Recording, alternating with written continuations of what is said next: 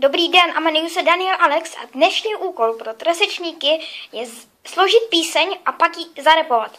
A já vám to dě- teď předvedu. Byli jednou trosečníci, kteří byli na D1. Jaká je to dneska práce, aby byla velká legrace? Pro televizi Prima, Daniel Alex a taky trosečníky.